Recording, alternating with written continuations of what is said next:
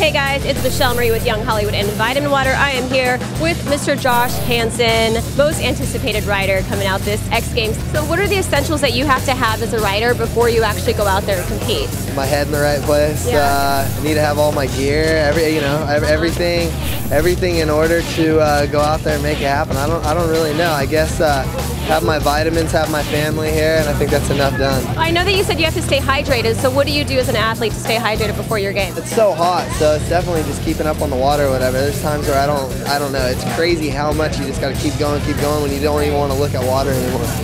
The past three years have been pretty rocky, up and down for you, and you've gone through a lot in your life as a writer and your personal life as well.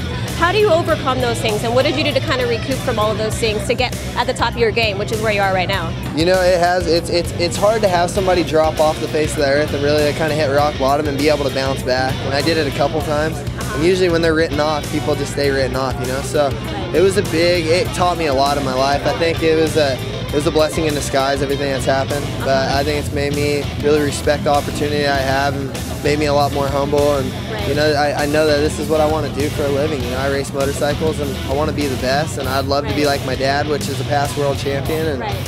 so it means a lot to me. So, what advice has your dad given you for this race?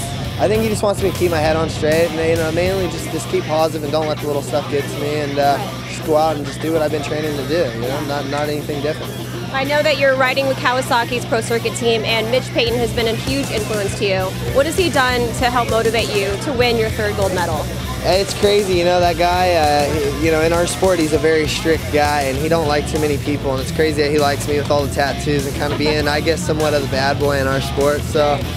I don't know. He, he's really just having him just be behind me and knowing that he's giving me the opportunity to ride for that team is, uh, I would say that's that's enough said. You know, that gives me a fire underneath me just to really want to put out and do the best that I can. Definitely have the bad boy look, and you have the mullet going on. We Yeah, gotta check this out. I do have the mullet. Let's show this thing. I'm not I'm not scared to run the mullet. I kind of went back into the 80s a little bit. You know what I'm saying? Tell me more about your um, tattoos here.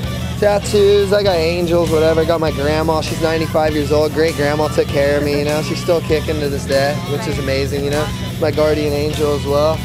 I live in LA. That's where I was born. That's, you know, and then I always wanted to be a pirate when I was a little kid. So that's some like a little fantasy world I had. And I love so, that. Yeah, that's that's where I'm at.